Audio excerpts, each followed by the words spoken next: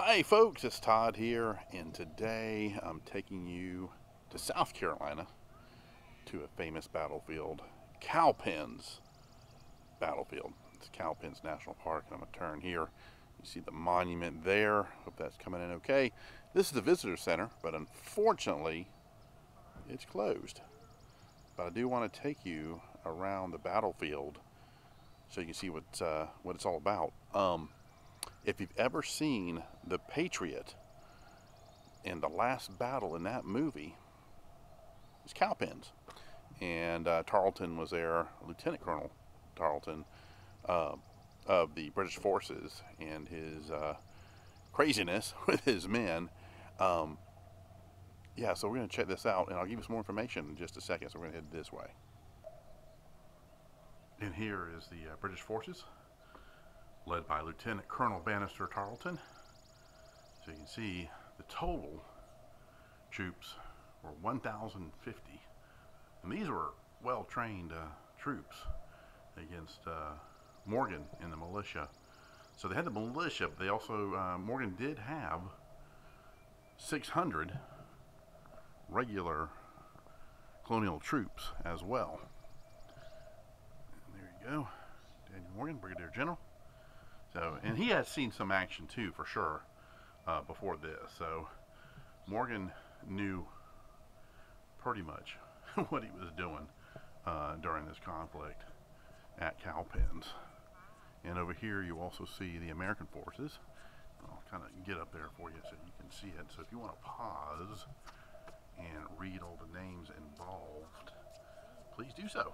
So, we're going to head towards the battlefield now. So, if you go to Kings Mountain, um, the battles were pretty close as far as uh, dates go, including the Guilford Courthouse. Uh, and but uh, Kings Mountain is north of here, so it's about a 30-minute drive from this location to Kings Mountain. And then the Guilford Courthouse battlefield is probably another little over an hour from Kings Mountain. So if you want to do it in that order. So the way you find this place, if you're on 85 going south or north, um, this exit 92 and from exit 92, it's about a 10 mile drive towards the battlefield. So it's not, it's not too bad. So yeah, when you come here, you are out in the country, middle of nowhere. So yeah, here's the uh, beginning of your tour of historic cowpens. You get different directions you go to. You get the Battlefield Trail, yeah, let's kind of pan around here.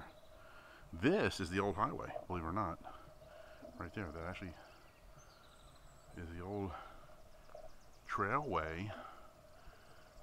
We'll see if there's some markers. But from what I remember, I mean, it's been a few years since I've been out here. Good 10 or 12 years. It's been a while. Uh, but this was a, an actual roadway, wa uh, yeah, a wagon trail that was used back in the day. But yeah, it's uh, like I said, they they do a great job of taking care of these parks. They're, and they're also a lot of locals come here, walk their dogs, and there's a huge loop. So there's a ton of cyclists that come out here because it's a couple. I think it's maybe two mile loop. You go around a bunch of times, man. You'll you'll get your miles in. Um, but that's cool that, that they do that. So Morgan's Flying Army. Morgan's army came from many states the two Carolinas, Delaware, Georgia, Maryland, Virginia. They were joined by the militia, some of whom had helped destroy the British Army and Loyalist Americans under Ferguson at Kings Mountain. They camped nearby without tents and nervously awaited dawn. And that's pretty much the outfits, that's the uniforms they wore back then. That would have been Here's your Dragoons right there, the 3rd Regiment, uh, Continental. Uh, there's your Virginia Militia. Then your Carolina, also the Mountain Men, you know, the, the Carolina Militia. So you see that uh, outfit he's getting, on, you know, he has on, the leather skins and stuff like that. It's pretty cool. And then there's the Maryland Continentals right there. The regular Continental uniform. So this would have been staging area. Hear that crow. Alright, we're going to head this way. So this battle took place in January, so it was probably pretty cold uh, during that time period, from what I understand.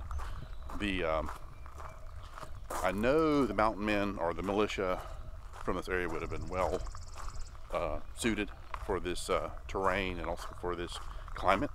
So not quite sure how the British were as far as prepared for this type of weather. Uh, and I knew they a lot more of the heavy wool outfits, of course.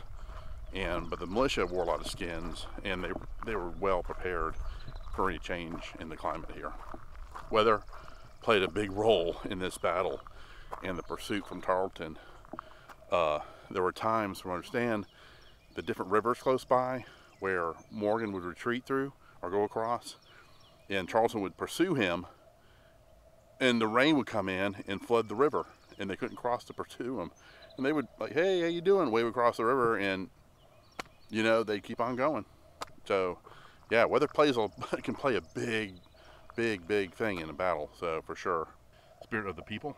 Morgan chooses this ground for, for its tactical advantages. A river to the rear to discourage the ranks from breaking, rising ground at which to post his regulars, and an open forest. Um, and a marsh on his side to thwart flanking maneuvers. And here's a map of the field here of battle. And most military commanders should, of course, do that. Uh, like I said, he knew this area, he knew the terrain, and the British weren't as familiar, of course, or wouldn't be, for, you know, of course, of what was here. So he knew where the rivers were, the marshes were, the banks were. So he definitely had tactical advantages. And again, like I said, if you haven't seen The Patriot, watch it. The very last battle is based on cowpens. And this definitely was open ground for cavalry, for sure, for the dragoons. Uh, the open forest proved well suited for cavalry action. Fast moving, hard hitting mounted troops called light dragoons bolstered the 18th century infantry. At least 70 South Carolina and Georgia mounted militiamen armed with pistols and sabers uh, issued for use in this campaign augmented the veteran 80 plus men American dragoons of Lieutenant Colonel William Washington. Uh, posted in a swell nearby, they were hidden from the British. So if you look here, yeah, it's definitely was open and it's very flat here. Um, this was all farmland, so of course uh, you're not going to uh, have all these trees here. So it was, I mean, it was pretty much an open battlefield in this particular area. So cavalry would definitely be used in something like this. And then you have the forest over here beyond these trees here. So, yeah, you you are in open territory right now. So today is Saturday, March March 27th, um, or 28th, maybe 27th. I kind of lost my, my days. So, but it's great. It feels great out here. It's like uh, around 70 degrees, 69, 70 degrees, and it's no humidity. Feels awesome. So we have overcast. I think the, the rain will hold hold out. I don't think it's going to rain, so that's good. Had a, a nice little dousing yesterday or last night, and uh, so but it feels great out here. Now this would have been very significant too. Um, nearby retreating British officers of the 17th Light Dragoons clashed with pursuing American horsemen led by Lieutenant Colonel William Washington. He quickly outpaced his troops, broke his weapon at the hilt, when he got into a sword fight with a British officer. According to legend, Washington's young servant rode up just in time, saving his life by shooting the attacking British officer. In this account, that probably inspired the artist William Ranney in 1845 to paint this vigorous battle scene. Washington and Tarleton raise their swords in the center while Washington's servant boy levels his pistol at a dragoon officer. This here is kind of gives you a Banastre's uh, troops what they would have worn. And if you ever remember watching Patriot, of course, uh, Lieutenant Colonel Banastre Tarleton wore this green outfit. Most of the dragoons did. That was their typical uniform. So you get the private of the 16th Light Infantry, the Royal Artillery, Private uh, 7th Fusiliers, Fusiliers, and then you also had the uh, private 71st Highlander group. Tell by their colors here with the uh, plaid and the hat that he's wearing.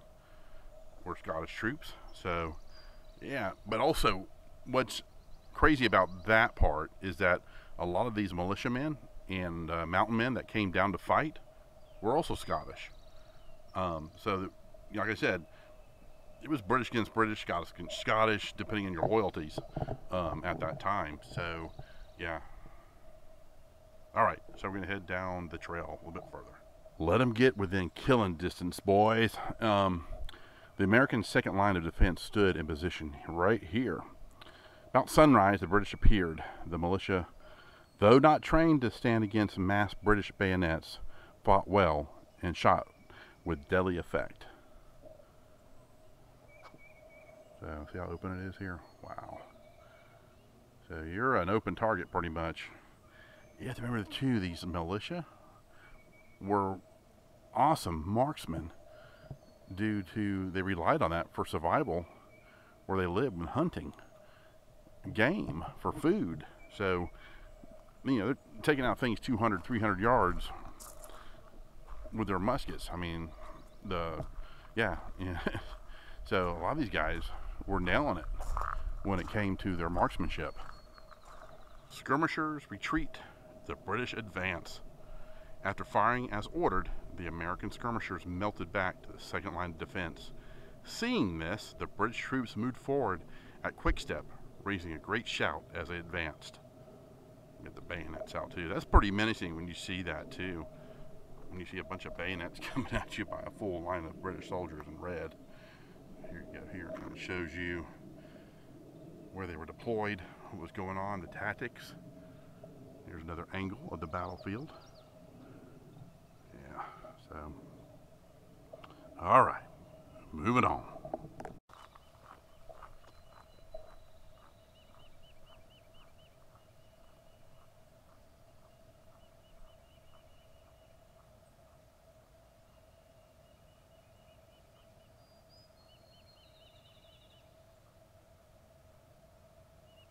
Yeah, um, the South was a big, big change for the war at that time against the British.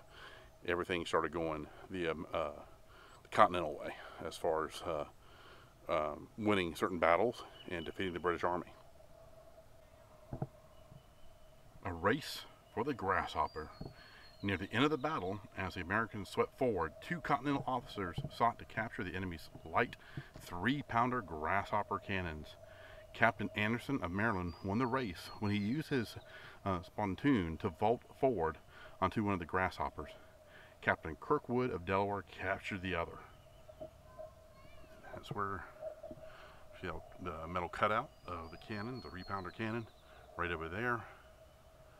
That's where it was.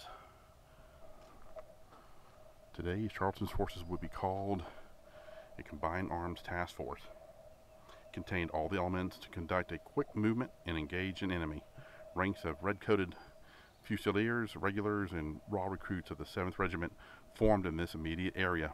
Wetlands impeded the maneuvers of the 7th, and Tarleton initiated the battle before they were completely deployed, which is not good. So, yeah, here's your um, here's your cane right here. Yeah, so your bamboo and all that stuff. This stuff will grow fast too. I got some of that stuff in my backyard. That'll get thick and thick and thick. But uh, kind of gives you an idea of the growth of this cane here. Cane break restoration. There you go. So, it's the native bamboo played a significant role in the outcome of this battle. So look how thick that is. Can you imagine troops having to wade through that stuff? Especially in bogs that it's grown from too. The, the area below would be really moist as well. So yeah, can, that's just crazy going through that stuff. Real, real thick. That would definitely impede movement for sure. Double envelopment. On the, this field, the Continentals blunted the British advance, then charged with bayonets flashing Cavalry hit the left and right of the 71st. The militia reformed and surged against the right and left. British troops found themselves overwhelmed and surrounded. Morgan had executed a double envelopment. In less than an hour, the crucial Battle of Cowpens had been decided. Pretty wild. So that tactic was actually used by Hannibal. Then, of course, uh, Morgan used that as well. So, very cool. Okay, this is a great representation of what was going on in the area for North and South Carolina. We do want to hit, you got Camden, you've got uh, the Waxhaws, which that was a bad situation. We'll definitely go there. It's actually closer to home where this happened. Um, Winnsboro, of course, Cowpens here, then Kings Mountain. And of course, uh, if you look at my recent video, the Guilford Courthouse here and what happened. And of course, the route that Cornwallis had taken to Virginia and Yorktown, where the decisive end of the war was at Yorktown.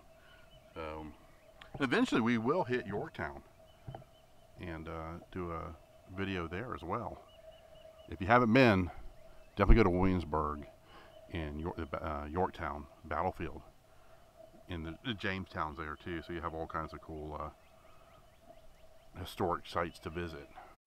Also, the bathrooms are open. Even though the visitor center is closed, the men's and women's bathroom is open. So, it looks like the water fountain might be running. Not quite sure. Let's see. Um, Some aren't.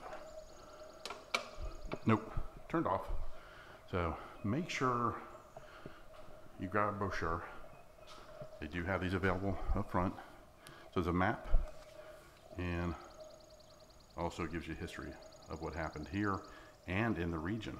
So make sure to grab one of these at the front door. And if you want to, after you do the tour of the battlefield, we're going to take the tour road. You can drive around. There's a couple other locations that we can see. So we'll go down this uh, road here. It goes around the battlefield. And like I said, this is where a lot of the cyclists will come and cycle around the park. Get some good exercise and uh, just to have a nice little uh, ride through the park. Got a picnic area over here. Check the camper out. Wow. I don't know if they boondock or not, but it looks like they have uh, hookups over there. That's pretty cool. Didn't know they had that. And the gates close at 5, just to let you know. So you don't want to be here after 5. Cabin over there. There is a trail to the cabin over there It's a pretty good walk on the battlefield to it. So that house you saw was the Scrugg house, the Scruggs house. So like I said, you can, it's a little bit off the trail. It's a good good walk if you're taking the battlefield tour of the battlefield, but they do have reenactments there of that uh, period of living. Historic reenactors are there uh, dressed for that period from 1781. So I appreciate you joining me for this little excursion to Cowpens Battlefield. I was hoping that the uh, visitor center would be open because they have a, from what I remember, it's been a while, they have a cool movie that you can watch and they have a lot of historic artifacts, the uniforms, what they would, would have used during the battle, and a lot more in-depth history of what was going on here. So yeah, so hopefully that'll be open soon uh, for summertime. And also, uh, they do have reenactments here. From what I've read, there's some areas, parks that are not going to start doing that probably until 2022. So this summer is kind of a cancel thing. I'm not sure here.